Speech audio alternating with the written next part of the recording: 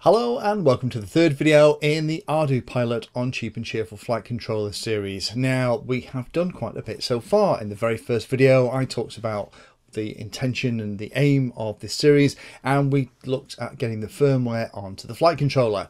Then, in the last video in the series, we spent a bit of time doing the basic setup, making sure things like the GPS and the external compass and the receiver all working, wired everything up and made sure it was okay outside of the aircraft.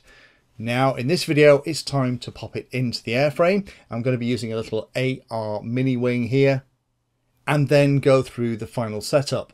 Now looking at the content I've got to cover in this video, I'm not sure will I actually get to fly. I was hoping to in this video. But we have quite a bit to do here to go from having all these individual components on the desk to having it all set up, ready to take out to the field for the maiden flight. And I've hit a couple of uh, little snaggets, I think I'll call them, where I just want to go through those. So if you're doing the same thing and following along, you don't fall into the same traps. Uh, it's probably spent about four hours doing the stuff that's going to be condensed, hopefully, that's we're going to cover in about 15 minutes in this video, and it'll save you a ton of time. So the first thing we need to do is start physically installing all the parts into the actual aircraft itself. The first thing is to pop the GPS into the wing. Again, I've cut the foam and it'll sink into there without too many problems. Running the cables underneath. I've also pulled the ESC out just to see how it's all going to go together and making a little bit of room. But now we've got the ESC out, I'm also going to remove the covering from this. I didn't really have to, just to see how all the cables are going to run. Because the wiring that we need to think about for this thing is all covered in the ArduPilot wiki. So if you go in there, there's a fantastic wiring diagram showing you how everything connects together. So all I'm doing is just following that. So I need to make sure that the battery is coming onto the battery pin and that the ESC is being connected to the output. Now, one of the cool things about the Sonic models is they do include a little JST plug that's there to power the video transmitter. This wing already has a video transmitter and a camera in it, so we're going to change the bits and pieces for that, the wiring, so that that works with the ArduPilot on-screen display as well. But for now, let's just worry about doing all of the power pieces. So this is how it looks with all the power pieces installed. So hopefully now I have power coming in from the battery. I have it going out the right pad onto the ESC. And I've also taken the power from the ESC side and also the ground which is underneath a common ground which all the wires connect to for that JST plug so I can still power the video transmitter stuff that's working fine. Now the next thing we need to think about then is how we're going to wire up the video transmitter and the camera. Now the only thing we're actually really worried about here is the video in and the video out and the ground wires. And again, it's all covered in the manual.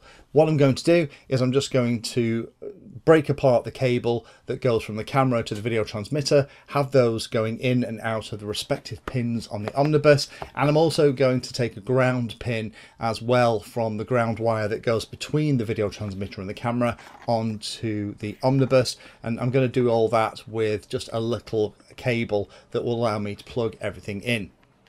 Now, once I've done that, next job is to make sure that I haven't made any hiccups, uh, do a visual inspection of the wiring, make sure that everything that I've just done isn't going to make the magic smoke come out, put a multimeter over the pins on the power input, for example, make sure it is at a dead short. Uh, just do one big final inspection, make sure the ground wires are going to the ground wires, the signals are going to the right places, that the ESC and the servos are all plugged into the right outputs as per the way it was configured in the last video. Now, the first thing we're going to do is we're going to just plug it in and check that the control surfaces work okay. So we're going to select manual mode on the radio. We're going to power it from the battery and then we're going to also plug it into Mission Planner so that we can change things around. So the idea with that is that in manual mode. We move the controls on the radio and because we've set it up for right and left elevon on the model itself, it should be working fine. Now my left one is working fine, my right elevon isn't working great at all. It's actually reversed for both directions. So all I need to do is in the servo tab, click reverse, and then that should be working fine, and that has fixed it. And while I'm in there, I can also set the midpoint and the travel as well to make sure that the control surfaces aren't being overdriven.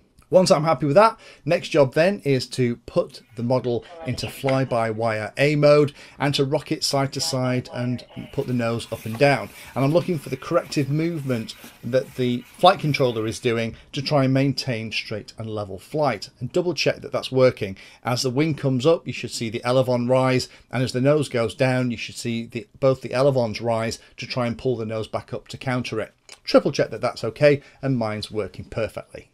Now we've got all that done, it's time to set up the on-screen display. Now this has been changing quite rapidly, so uh, it might be slightly different. It's You're looking at it, because I'm recording this video uh, very, very end of April, beginning of May. So by the time you come to it, it might be a little bit more sophisticated. But what we need to do now is just to make sure that we can get into the on-screen display and have it all set up. It's a lot simpler than it used to be. It used to be quite complicated and you have to have a, kind of a, a manual XY coordinates and you have to set them up through this very complicated interface. These days, it's a lot more simple. All you have to do is go into here in the menus, find the onboard on-screen display, set it to one, reboot the flight controller, and when it comes back, the on-screen display will burst into life and then you can start to configure it. If you go back into that tab in Mission Planner now, you will have this wonderful graphical interface. You can decide what you want and you can drag and drop it. You can also decide on the font you want to use and all these settings are still reflected back in the full parameter list or the parameter tree, but it's just a much, much nicer way to set it up. Very similar to how iNav, uh, Vector and Betaflight do it. So props to the ArduPilot development team for making this an awful lot easier. This is one of the steps I wasn't looking forward to if this graphical OSD wasn't here.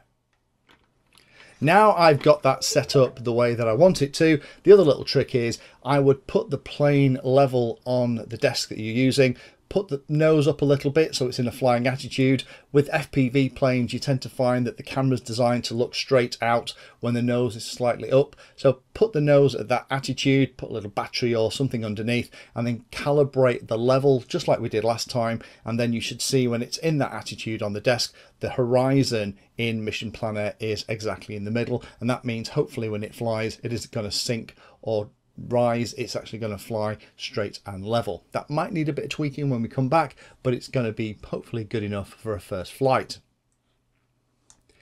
Now to talk about the last stuff. Now trying to get this thing to arm uh, probably gave me a good couple of hours of fun. Now to arm an ArduPilot flight controller, you hold the throttle at the low position and the rudder to the right position. And that, once it's held there for about three seconds, should arm the flight controller.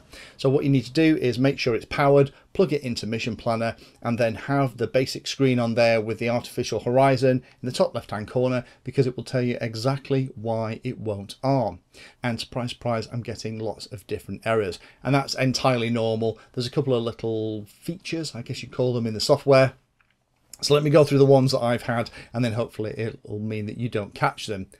First one is mapping data error. Um, I didn't have an SD card in my Omnibus. I didn't think I needed it, but one of the things that Mission Planner will do when you connect it up and you look at uh, the mission planning stuff is it will download all of the terrain data onto the SD card. It doesn't take up much space at all. I'm only using a little 2 gig card in this and it's fine. Uh, but make sure you have an SD card installed and that mapping data will be pushed across automatically. You don't have to do anything. It's just when you're in the map part of Mission Planner, you'll notice the little text screen that sits behind it. You'll see all this map data suddenly being copied. Second problem I had was I had lots of errors around RC uh, conditions not being right. And what this is, if you do a search online, uh, this is a bit of a weird, wacky one. And I didn't expect it to have it on here because I've seen it with other Pixhawk installs where I've installed over the top of an older version of ArduCopter or ArduPlane, um, but it has happened here. So what it is, is all of the channels that haven't been calibrated as part of the radio calibration. So in my case, that's uh, RC 9, 10, 11, 12, 13, 14, 15 and 16, the trim values is less than the minimum value and that's causing an error. So just go into the full parameter list. You can search for the RC9, RC10, whatever it is. Make sure that the trim value is more than the minimum value. Minimum value is going to be 1100, so I've set my trim for 1200. Make sure that you hit enter so that it's green. Then once it's green, hit right so that's copied back to the flight controller and work your way through there and that should get rid of those errors. Next problem I had trying to arm it, it was telling me I had a bad logging error. Now the flight controller is going to be saving some data onto the SD card when you're flying and those logs are useful to look back if you have a problem later on. Now I was initially using a 16 gig card uh, and the terrain data and everything was working fine but it wasn't working with the logging. So what I did, I replaced it with a much smaller 2 gig card that I'm using now, uh, formatted it in a PC for FAT32, plugged it in, uh, copied over that terrain data just on the PC, and then plugged it back in, fired it up, and that fixed it okay with that as well. So that's another problem out the way. Last couple of ones are slightly weird and wacky. Uh, the first one is that um, I was just trying to do it on the desk without having my radio turned on and the flight controller wouldn't complete its boot sequence when I had my radio off. I think it's probably because the flight controller is seeing no pulses from the receiver and that was causing some kind of failsafe or something weird and wacky to happen. So to make sure that the flight controller booted, and I've also installed a buzzer and I'd recommend putting a buzzer on any flight controller that you're using in a plane with ArduPilot because the tones that it produces and the successful beep tones are exactly the same as the kind of stuff you'll hear on a Pixhawk and if you're used to Pixhawk it's very familiar. That little trilling noise it makes when it's happily booted. And also the eh -eh noise it makes when there's an error is great. It's just a little audible signal that something is right or something is wrong. But just make sure that the radio's turned on, the receiver's nice and green and bound, and it should boot fine. And the last one is when I first powered it up, of course, every time you're doing anything on the bench, when you're going to be plugging the battery in, make sure that you have the prop moved from your model. Um, I found that the motor was just twitching and spinning. Now, the ESC calibration is something we could go through. Uh, the ESC calibration through Mission Planner uh, is a little bit hit and miss in my experience. So all I've done for the maiden flight is I just went into the servo tab and just reduced the minimum value on the throttle output just a little bit so that it was below the level where the motor's going to turn. So when it's sat, um, it's not going to be running the motor until I increase the throttle. Once I'd done all that, I could put the throttle stick in the lowest position over to the right rudder and hold it there for about three seconds and it would arm beautifully and then everything was working the motor was firing up i could have everything in the on-screen display the gps was locking we're good. So quite a lot covered there but hopefully that shows you it's relatively straightforward. Setup is very simple just follow along with the stuff in the wiki but now we're ready to take it to the field and give it the first couple of test flights Again, make sure we have manual mode, make sure you have loiter, make sure that you have fly-by-wire A for that initial flight. I've also tweaked mine so that I can get a return to home there as well, so that we can try the whole thing. So join me in the next video, take it to the field, and we'll actually see if this works as well as I hope it does. Thanks for watching the video and watching right to the very end. You can find me in all the usual places on social media and if you like the video and like what I'm doing here then hit the subscribe button and hit the bell notification icon too. If you really like what I'm doing you can go the extra mile and become one of my Patreons for access to me directly for support and also giveaways and regular updates too. If you're looking for particular content, then check out the playlist. I organize all of my videos into playlists, so if you're looking for a particular topic, you can find everything here. If it's called Introduction to, it's designed to start very simply and build on that simple introduction to teach you all about it. If it's called For Beginners, then that is really aimed at people who are brand new to that part of the hobby.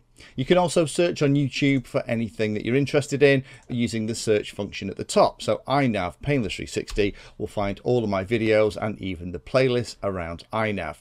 So thanks again for watching and happy flying.